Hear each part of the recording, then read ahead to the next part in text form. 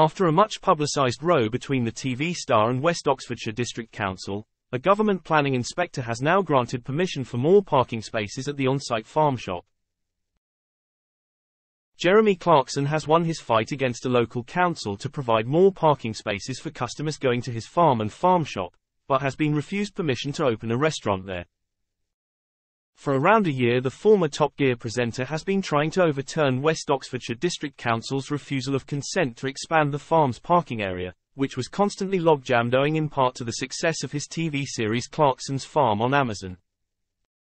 The overflowing car park caused fury among local residents, who often found nearby roads in Chadlington village difficult to navigate because of poorly parked vehicles. Other cars were left on roadside verges, damaging shrubs and borders. But the government's planning inspectorate has now consented to the extension of facilities at Diddly Squat Farm, a 1,000-acre site in the Cotswolds which was formerly part of the Sarsden estate in Oxfordshire. However, a plan to add a restaurant near the farm shop was refused.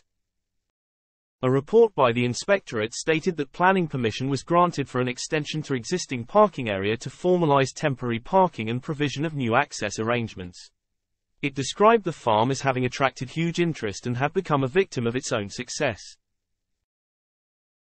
The inspector, R.J. Perrins wrote, It does not ask for an entrance fee or advertise as a leisure or tourist attraction, it is not comparable to, say, a wildlife park or miniature railway, which are reliant upon attracting tourists and paying visitors to be viable. Taking into account the views of neighboring residents, he added, I am in no doubt that this has caused a huge inconvenience for those who live nearby. It was clear to me that many people visiting on the day of my final site visit had no regard to the proper use of the highway, with verges being further churned up and traffic having to stop, as visitors walked in the middle of the road or cars maneuvered into tight spaces. From that snapshot in time I am not surprised, as heard in evidence, that tensions have run high between some of those living locally and some visitors to the farm shop. Two series of Clarkson's Farm have been shown on Amazon TV. A third series was commissioned last October, but will be filmed without the presence of Clarkson's popular but acerbic right-hand man on the show, Kaleb Cooper.